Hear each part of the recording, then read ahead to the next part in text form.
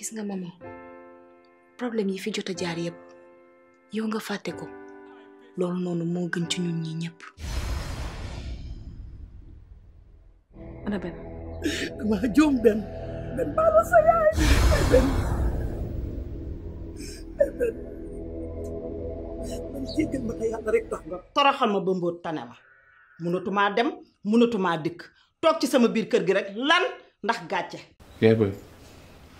bant bu dëngul kenn du ko jubbanti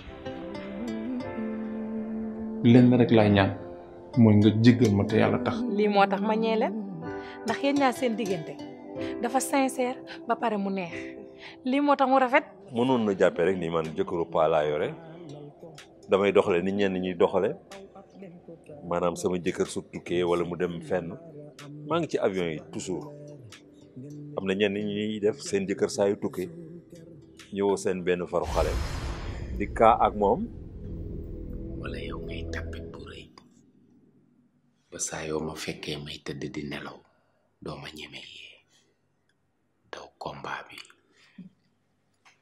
ndeysaan gis nga saay bu ma wàccee ñëw ci néeg bi dégg sa xaram yu metti mu lay ñeewantal dama la bëgg di yee soo ma fekkatee ci biir dee ma yee damaa ñëw indil la nouvelle bu neex a neex a neex a neex a neex maa ngi lay déglu nouvelle la jàmm ak salaam dama am jëkkër la kii je la déteste dama ko bañ femme bi yow lan la lan nga may woowee bul ma woowaat imbécile. ci sëñ bi nuroo am na sama benn xarit laa la jaawaleel Aboubacar benn ngeen yéen ñaar sànq li ma toog fii yëpp yow laay xool.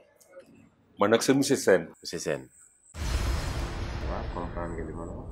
waaw très bien j'ai très bien compris. dafa mel ni nekkuloo. comment nekkuma. xanaa da nga commencé jot ay menaces. ay menaces.